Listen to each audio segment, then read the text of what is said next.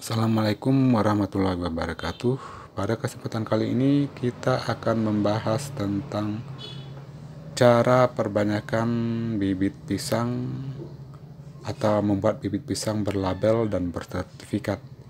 Pada kesempatan sebelumnya kita sudah banyak membahas tentang uh, teknis memperbanyak bibit pisang dari bonggol dengan metode PIF sehingga bisa menjadi bibit-bibit pisang yang siap untuk ditanam di lahan.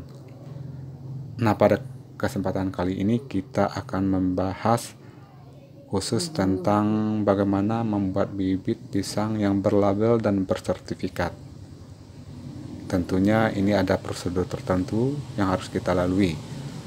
yang pertama, di tingkat balai kita balai pertanian, balai penelitian ataupun di tingkat balitbu tropika itu akan mengidentifikasi rumpun induk tunggal atau duplikat rumpun induk tunggal yang tersertifikasi.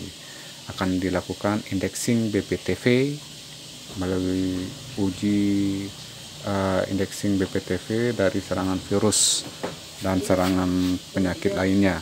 Kemudian dari rumpun induk tunggal ini akan dilakukan perbanyakan konvensional teroptimasi. Nah, perbanyakan konvensional teroptimasi dari tanaman induk tunggal ini akan menghasilkan benih sumber yang siap sebar. Benih sumber ini biasanya berlabel putih atau label ungu. Nah, inilah yang benih-benih sumber yang dilakukan akan dikembangkan lagi di tingkat penangkaran atau di tingkat balai untuk diperbanyak menjadi benih sebar atau benih yang berlabel biru. Ini prosedur awalnya dilakukan di tingkat balai penelitian atau di balai, ah, balai tropika.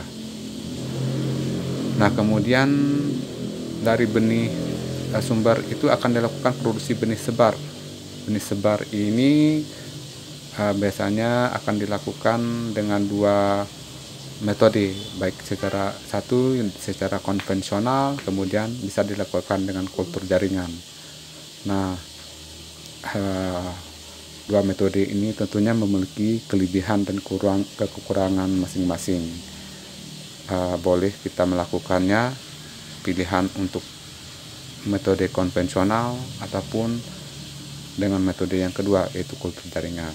Nah, untuk produksi benih sumber secara konvensional teroptimasi itu kita melakukannya dengan metode PIF yaitu dengan memperbanyakkan bonggol dengan metode PIF.